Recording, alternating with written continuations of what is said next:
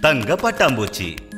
ஒரு நாள் மிங்குங்கிற யானை காட்டுல சுத்தி வலம் வந்துகிட்டு இருந்துச்சு. அதுக்கு தினமும் இப்படி காட்டை சுத்தி வர்றது ரொம்ப பிடிச்சிருந்துச்சு. காட்டை சுத்தி பாக்குறேன்னு அது காட்டோட ஒரு மூலைக்கு போயிடுச்சு. அப்புறம் அது ஒரு பெரிய மரத்தை பார்த்துச்சு. அடேங்கப்பா எவ்வளோ பெரிய மரம்? இது வரைக்கும் நான் பார்த்ததே இல்ல. மிங்கு ரொம்ப நேரமா அதே மரத்துக்கிட்ட சுத்திக்கிட்டு இருந்துச்சு. ரொம்ப சந்தோஷத்தோட நடக்கிறதும் அப்புறம் ஓடிக்கிட்டும் இருந்தது. திடீர்னு கீழே விழுந்துருச்சு. பாவம் அப்புறம் அதோட கால்ல அடிபட்டுடுச்சு. ஓ மம்மி மிங்குக்கு பயங்கரமா வலிச்சது. அப்புறம் அது அழுதுகிட்டு தன்னோட அம்மாவை கூப்பிட்டுக்கிட்டு இருந்துச்சு. அம்மா நீங்க எங்க இருக்கீங்க? அம்மா. மிங்குவோட குரலை கேட்டு மரத்து கிளையில உட்கார்ந்திருந்த ஒரு பட்டாம்பூச்சி அது கிட்ட வந்துச்சு. அந்த பட்டாம்பூச்சி அது கிட்ட அன்பா பேசிச்சு. அன்பு யானையே கவலைப்படாத. நான் இப்பவே உன்னை குணப்படுத்துறேன். பட்டாம்பூச்சி யானையோட கால்ல வந்து உட்கார்ந்தது அப்புறம் அது உட்கார்ந்த உடனே யானையோட நிறம் தங்கமா மாறிடுச்சு. பட்டாம்பூச்சி தன்னோட மாய சக்தியால யானையோட காயத்தை முழுமையா குணமாக்கிடுச்சு. அடடா அடடா அருமை. நீ ஒரு மாய தங்க பட்டாம்பூச்சின்னு நினைக்கிறேன் ஆமா ரொம்ப சரியா சொன்ன. எனக்கு மிருகங்களோட காயத்தை குணப்படுத்துறதுக்கான வரம் கிடைச்சிருக்கு. நான் ரொம்ப நாளாவே இப்படி செஞ்சுக்கிட்டு இருக்கேன். நீ இன்னைக்கு தானே என்ன முதல் தடவையா பார்த்த? அதனால உனக்கு என்ன தெரியாது. ஆமா ஆனா ஆனா நீ எதுக்காக இந்த காட்டோட ஒரு மூலையில இப்படி இருக்க? இந்த இடத்துல தான் எந்த மிருகமும் வராதே. நான் முன்னாடி என்னோட குடும்பத்தோட மிருகங்கள் எல்லாரு கூடயும் இருந்தேன். ஆனா அங்க எங்க மேல யாருமே அக்கறை காட்ட மாட்டாங்க. அப்புறம் அங்க இருந்த மிருகங்கள் எல்லாம் எங்களை விட பெரியவங்களா இருந்தாங்க. ரொம்ப பெருசா இருந்தாங்க. அப்புறம் அதனால நிறைய மிருகங்கள் எங்களை ரொம்ப கஷ்டப்படுத்தினாங்க. அதனால நான் என்னோட குடும்பம் எல்லாரும் ரொம்ப தூரம் வந்து இந்த காட்டோட மூலையில இருக்கிறோம். பட்டாம்பூச்சி சொன்னது யானைக்கு ரொம்ப கவலையா இருந்தது. அப்புறம் யானை அதை தன்னோட வர சொல்லி கூப்பிட்டுச்சு. நீ ஏன் என் கூட காட்டுக்குள்ள திரும்பி வரக்கூடாது. நான் உன்ன நல்லா கவனிச்சுக்கிறேன். நான் வாக்கு கொடுக்கறேன். என்னோட அம்மா சகோதர சகோதரிகள் அப்பா எங்க குடும்பம் ரொம்ப பெருசு. எல்லாரும் உன்னை நல்லபடியா பாத்துக்கிறோம். நாம ரெண்டு பேரும் சேர்ந்து மத்த எல்லா மிருகங்களுக்கும் புரிய வைப்போம். பட்டாம்பூச்சி யானை சொன்னதை கேட்டுக்கிச்சு. அப்புறம் ரொம்ப சந்தோஷத்தோட தன்னோட குடும்பத்தை சம்மதிக்க வச்சு மிங்கு கூட மறுபடியும் காட்டுக்குள்ள போயிடுச்சு. அப்புறம் அதோட மாயசக்தியோட உதவியால மத்த மிருகங்களுக்கும் அது உதவி செஞ்சது. மிங்குவும் சந்தோஷமா இருந்தது. ஒரு வெள்ளை நிறத்துல இருக்கிற புறா பார்க்கவே ரொம்ப அழகா இருக்கும். கிராமத்துல இருந்த ஒரு செல்வந்தர் அந்த புறாவை ஒரு கூண்டுல போட்டு அடைச்சி வச்சிருந்தாரு. அந்த புறாவோட நான்கு முட்டைகள் இருந்தது. அது சீக்கிரமே குஞ்சு பொரிக்க இருந்தது. காக்காவுக்கு அந்த புறான்னா ரொம்ப பிடிக்கும். அதனால அடிக்கடி அந்த காக்கா அந்த புறா கிட்ட வந்து பேசிக்கிட்டு இருக்கும். எப்படி இருக்கிறப்பா? இந்த கூண்டுக்குள்ள வாழ்க்கை எப்படி போய்கிட்டு இருக்கு நான் நல்லா தான் இருக்கேன். என்ன என் குஞ்சுகள் வெளியே வர்றதுக்காக தான் காத்துட்டு இருக்கேன் இவங்க வந்துட்டாங்கன்னா அப்புறம் வாழ்க்கை ரொம்ப நல்லா இருக்கும். அது மட்டும் இல்லாம இந்த கூண்டுக்குள்ள ரொம்பவே மூச்சு அடைக்குது. வெளியில போய் சுத்தணும்னு ரொம்ப ஆசையா இருக்கு. ஆனா என்னோட லாலா ரொம்ப நல்லவரு. என்ன ரொம்ப அக்கறையா பாத்துக்கிறாரு. அப்புறம் நீ சொல்லு நீ எப்படி இருக்க? காக்கா சொல்லிச்சு. ஆ நானும் நல்லதா இருக்கேன். உன்னை பார்க்கணும்னு எனக்கு தோணுச்சு. அதான் உன்கிட்ட பேசுறதுக்காக வந்தேன். இப்பெல்லாம் அழகா இருக்கிற எல்லா பறவைகளையும் எல்லாரும் அதுங்களை பிடிச்சு கூண்டுக்குள்ள போட்டு அடைச்சிடுறாங்க. எங்களை மாதிரி காக்காங்களை மட்டும் விட்டுறாங்க. உனக்கு தெரியுமா? நாங்க கருப்பா இருக்கிறதுனால இது ஒண்ணுதான் எங்களுக்கு பிரயோஜனம். எங்களை பிடிச்சி யாரும் அடைச்சு வைக்கிறதுக்கு விருப்பப்பட மாட்டாங்க. அப்புறம் உனக்கே தெரியும் எங்களோட குரல் எல்லாம் எப்படி அவசரமா இருக்கும்னு.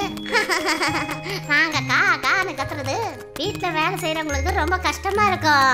அதனாலதான் யாருமே எங்களை ஏத்துக்கவே மாட்டாங்க. ஆனா உன்ன பாரு நீ எவ்வளவு நல்லா இருக்க ரொம்ப அழகா இருக்க. உன்னோட கண் இருக்கே அது யாரை வேணாலும் அப்படியே கவர்ந்து இழுத்துடும். அதனாலதான் உன்னுடைய இந்த அழகு உன்னை இந்த கூண்டுக்குள்ள கொண்டு வந்து விட்டுடுச்சு நண்பா. ஆமா நீ சொல்றது உண்மைதான். ஆனா என்ன பண்றது? இங்க சாப்பாடு தேடுறதுக்கு. ரொம்ப கஷ்டப்படணும் இல்லையா? இங்க லாலா ஐயா காலையிலயும் சாயந்தரமும் அவரே சாப்பாடு கொண்டு வந்து கொடுப்பாரு. சரி அப்ப நான் கிளம்புறேன்.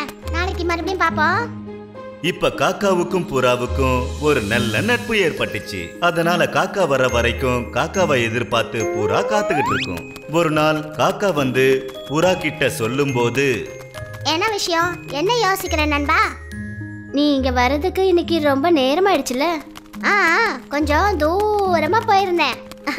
அவ்வளோ தூரம் பறந்தனா ரொம்ப டயர்ட் ஆயிடுச்சு அப்புறம் யோசிச்சேன் சீக்கிரமா உன்னை போய் பார்த்துட்டு வந்துடலான்னு வந்தேன்.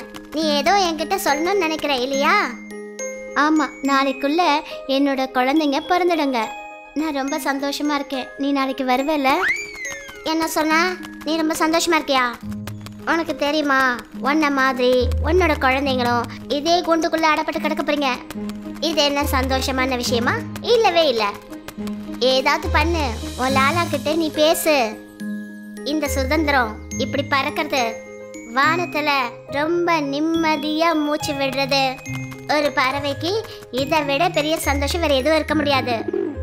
காக்கா சொன்னதை கேட்ட உடனே புறா உணர ஆரம்பிச்சது. அதாவது கூண்டுக்குள்ள இல்ல சுதந்திரமா வாழ்றதுதான் ரொம்ப சந்தோஷம்னு புரிஞ்சுக்கிச்சு. ஒரு சமயம் கழுதையோட நட்பு பச்சை கலர்ல இருக்கிற ஒரு வெட்டுக்கிளியோட ஏற்பட்டுச்சு. ரெண்டு பேரும் நாள் முழுக்க ஒன்னாவே இருப்பாங்க. ரெண்டு பேரும் ஒன்னா விளையாடுவாங்க. ரெண்டு பேரும் ஒன்னாவே சுத்துறதுக்கு போவாங்க. அப்புறம் ரொம்ப நேரத்துக்கு ஒன்னாவே இருப்பாங்க. அவங்க ரெண்டு பேருக்குள்ள நட்பு ரொம்ப உறுதியா இருந்தது. ரெண்டு பேரும் ஒருத்தரை ஒருத்தர் பாராட்டவும் செஞ்சுக்கிட்டாங்க. ஒரு நாள் அந்த கழுதை அந்த வெட்டுக்கிளியோட குரல்ல பாட்டை கேட்டுச்சு. வெட்டுக்கிளி ரொம்ப அழகா பாடிக்கிட்டு இருந்தது. அதோட பாட்டை கேட்டதும் கழுத என்ன சொல்லுச்சுன்னா அடடடடடா நீ எவ்வளவு அழகா பாட்டு பாடுற? நீ உண்மையிலேயே ரொம்ப அழகா பாடுற. ஒருவேளை உன்ன மாதிரி நானும் அழகா பாடினேனா? அது சரி நீ எப்படி இவ்வளவு அழகா பாட்டு பாடுற? ஏதாவது விஷயம் இருக்கணுமே. எனக்கும் சொல்ல வேட்டுக்கிளி. நாம ரெண்டு பேரும் நல்ல நண்பர்கள் தானே. எனக்கு பாட்டு பாடுறதுக்கு ரொம்ப ஆசை தெரியுமா? ஒருவேளை நீ எனக்கு கத்து கொடுத்தினா? அப்ப நானும் கத்துப்பேன். நீ எனக்கு பாட்டு பாட கத்து கொடுக்குறியா நண்பா? வெட்டுக்கிளி சிரிக்க ஆரம்பிச்சது. அப்புறம் கழுதை கிட்ட சொல்லுச்சு அப்படியெல்லாம் ஒன்றும் கிடையாது. நான் ஒன்றும் ரொம்ப அழகாலாம் பாடல. ஆனாலும் நீ என்னை இவ்வளோ பாராட்டியிருக்க. அதுக்காக உனக்கு ரொம்ப ரொம்ப நன்றி. உனக்கு தெரியாதுன்னு நினைக்கிறேன். நான் பனித்துளிகளை மட்டும்தான் குடிக்கிறேன் இதுதான் காரணம். அதனால தான் என்னோட குரல் இவ்வளவு இனிமையா இருக்கு. எங்க அம்மா எனக்கு பாட்டு கத்து கொடுத்தாங்க. ஆனா அதை விட அதிகமா இந்த பனித்துளிகள் என்னோட தொண்டையை இன்னும் மென்மையா ஆக்கிடுச்சு. அப்புறம் என்னோட பாட்டை கேட்டு எல்லாரும் என்ன பாராட்டுறாங்க. அதனாலதான் நான் எப்பவுமே பாடிக்கிட்டே இருக்கேன். ஆனா நண்பா நான் சொல்றத நல்லா கவனமா கேளு. எல்லாரும் பாட்டு கத்துக்கிறது அவ்வளவு சுலபம் கிடையாது. அதே பனித்துளிகளை நீ குடிச்சினா உன்னோட இவ்வளோ பெரிய சரீரம் எப்படி உயிர் வாழ முடியும்? இறந்து கூட போயிடுவ. அதனால நீ அப்படியெல்லாம் பண்ணக்கூடாது. நீ இப்ப எப்படி பாடுறியோ அதே மாதிரி பாடு. அப்புறம் உன்னை பாராட்டுறதுக்காக தான் நான் உன் கூட இருக்கேன்ல. வெட்டுக்கிளி கழுதைக்கு எவ்வளவோ எடுத்து சொல்லுச்சு. ஆனா கழுதை எங்கே புரிஞ்சுக்க போகுது? அது ரொம்ப பிடிவாதமா இருந்தது. இப்ப அதுவும் நாள் முழுக்க சாப்பாடு தண்ணி எல்லாத்தையும் விட்டுட்டு காலையில கிடைக்கிற பனித்துளிகளை குடிக்குது. தன்னோட தொண்டைய மென்மையாக்கி பாடணும்னு ஆசைப்பட்டுச்சு. அந்த கழுதை விடாம இதே மாதிரி செஞ்சுக்கிட்டு இருந்தது. பச்சை வெட்டுக்கிளி எத்தனையோ தடவை அதுக்கு சொல்லுச்சு. ஆனா கழுத அதோட பேச்ச கேட்க தயாராவே இல்ல. கொஞ்ச நாளைக்கு அப்புறம் அந்த கழுதையோட உடல்நிலை மோசமாயிடுச்சு. அதுக்கு உடம்பு சரியில்லாம போச்சு. ரொம்ப சீக்கிரத்துல இறந்துருச்சு. பாவம் வெட்டுக்கிளி தன்னோட நண்பனை இழந்து ரொம்ப சோகமாயிடுச்சு. அப்புறம் யோசிக்க ஆரம்பிச்சது. ஒருவேளை என்னோட நண்பன் நான் சொன்னதை கேட்டிருந்தா பாடணும்னு பிடிவாதம் பிடிக்காம இருந்திருந்தா இன்னைக்கு நாங்க ரெண்டு பேரும் எவ்வளவு சந்தோஷமா இருந்திருப்போம். இப்படி நீ பிடிவாதம் பண்ணது கொஞ்சம் கூட நல்லா இல்ல நண்பா. இதுக்கு தான் சொல்லுவாங்க எப்பவும் யோசிக்காம புரிஞ்சிக்காம பிடிவாதம் பிடிக்கிறது நல்லதுக்கு இல்லைன்னு. நல்ல ராஜா கியான் சந்த் கியான் சந்துங்கிற பேர் கொண்ட ஒரு ராஜா ஒரு பெரிய ராஜ்யத்துல ராஜ்யம் பண்ணிக்கிட்டு இருந்தாரு. அந்த ராஜ்யத்துல ஜனங்க ரொம்ப கவலையோட இருந்தாங்க. ஏன்னா விவசாய நிலம் எல்லாமே தரிசு நிலமா மாறி போயிட்டு இருந்தது. எல்லாரும் அவங்க வயல் நிலைமைய பார்த்து ரொம்ப கவலைப்பட்டாங்க. லட்சம் முறை முயற்சி பண்ணா கூட எதையும் விதைக்கிறது அந்த மண்ணுல முடியாத காரியமா இருந்தது. கிராமத்து ஜனங்க தினமும் ராஜா கிட்ட வருவாங்க கதற ஆரம்பிப்பாங்க. ராஜா ஏதாவது பண்ணுங்க. ஏதாவது பண்ணுங்க ராஜா. என்னோட நிலம் எல்லாம் தரிசா மாறிடுச்சு. சாப்பிடறதுக்கு வீட்ல ஒரு பறிக்க அரிசி கூட கிடையாது. என்ன பண்றது? ராஜா நாங்க ரொம்ப முயற்சி பண்ணோம். ஆனா என்னோட நிலத்துல எதுவுமே விளைய மாட்டேங்குது. எனக்கு மட்டும் இல்ல நம்ம மொத்த கிராமத்துக்கும் இதே நிலைமை தான் நீங்க எங்க மேல கருணை காட்டுங்க. ஏதாவது பண்ணுங்க. ராஜா தன் மக்களோட இந்த நிலைமைய பார்த்துட்டு ரொம்ப கவலையா இருந்தாரு. அவர் ஒரு பெரிய சாமியார வரவழைச்சாரு. அப்புறம் அவர்கிட்ட கேட்டாரு இதுக்கு காரணம் என்ன? கிராமத்துல இந்த அளவுக்கு வறுமையும் அப்புறம் எதுக்காக எந்த விவசாயமும் பண்ண முடியலன்னு கேட்டாரு. அப்புறம் நிலம் எதுக்காக தரிசா மாறிக்கிட்டு இருக்குன்னு கேட்டாரு. அந்த சாமியார் சொன்னாரு இது ஒரு பெரிய சாபத்தால இப்படி நடந்துகிட்டு இருக்கு ராஜா. ராஜா கேட்டதுக்கு அப்புறமா ரிஷி அதுக்கான யோசனைய சொன்னாரு மகாராஜா நீங்க குறைஞ்சபட்சம் நூறு ஆடுகளை பலி கொடுக்கணும். அப்பதான் தரிசா இருக்கிற நிலம் எல்லாமே வளமா மாற ஆரம்பிக்கும்.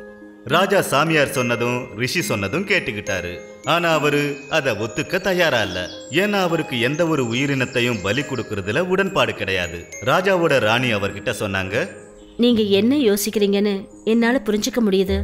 நீங்க யாரோட உயிரையும் எடுக்க மாட்டீங்க. நான் சொல்றதை கேளுங்க. உங்களோட தவ வலிமையும் நீங்க செய்யற பூஜையிலயும் ரொம்ப வலிமை இருக்கு. ஒருவேளை நாம ரெண்டு பேரும் சேர்ந்து அந்த கடவுளுக்கு பூஜை செஞ்சோன்னா அப்புறம் நம்ம ராஜ்யம் நம்மளோட நிலங்கள் அப்படியே பழையபடி நிச்சயமா மாறுங்க. நிச்சயமா தரிசு நிலமா ஆகாது. நீங்க என்ன நம்புங்க? நானும் விரதம் இருக்கேன். நீங்களும் விரதம் இருங்க. ராஜா ராணியோட பேச்சை கேட்டு ராஜாவும் ராணியும் ஐம்பத்தி ஒரு நாட்கள் விரதம் இருந்தாங்க. கடவுள் கிட்ட கடுமையா பிரார்த்தனை செஞ்சாங்க. கடவுளுக்கு ஆராதனை செய்யறத ஒரு நாள் கூட அவங்க விடல. கடவுள் ரொம்ப சந்தோஷப்பட்டு அவங்களோட நிலத்தை பசுமையாக்கினாரு. இப்போ அவங்களோட நிலம் முதல் மாதிரி வளமான இடமா மாறிடுச்சு. அந்த கிராமத்து ஜனங்க எல்லாருமே சந்தோஷமா இருந்தாங்க. கிராமத்து வாசிங்க எல்லாரும் அவரை வாழ்க வாழ்கன்னு சொன்னாங்க. அப்போ ராணி சொன்னாங்க யாரோ ஏற்கனவே சொல்லிருக்காங்க ஒருத்தரோட உயிரை எடுக்காதீங்க. உங்களுக்குள்ள மாற்றத்தை ஏற்படுத்துங்க. கடவுள்கிட்ட மனசார மன்னிப்பு கேட்டு அவரோட ஆராதனை மேல நம்பிக்கை வச்சீங்கன்னா நடக்காத காரியம் கூட நடக்கும்னு சொன்னாங்க.